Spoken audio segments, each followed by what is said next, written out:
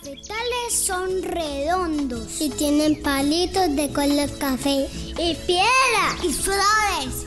Y los árboles tienen bolitas verdes. No, el café no tiene bolas. El café es como unos cuadritos. El café es un árbol que tiene unas bolitas rosadas, amarillas, verdes y rojas. Esa matica tiene bolitas rojas como huevos. El café son unos árboles grandes. No, chiquitos. No, estas matas son de las pepitas de café.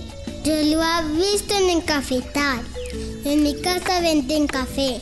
Pongan mucho cuidado a esta historia. Un día los papas estaban recogiendo bolitas en el árbol chiquiticas. Y las mariposas y las florecitas felices los miraban. No quiero que las flores se envíen porque vivieron muchas flores que hay en el cafetal. De pronto mi papá estaba arrancando unas bolitas y se las comía sin lavarlas. Cuando una abejita se chocó. Y mi papá por accidente se comió la abejita. ¿Qué hizo la abejita? Diga, diga. ¿Qué pasó cuando se chocó con el árbol? La abejita picó a mi papá en la lengua y eso le dolió. ¡Uy, qué dolor! Pero las abejas pican más que las avispas. Las avispas son unas cositas. Sí, le dolió tanto, tanto, tanto que gritó, gritó y gritó.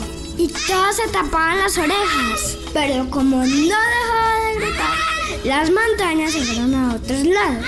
Un pollito abrió las alas y se voló. Ah, sí.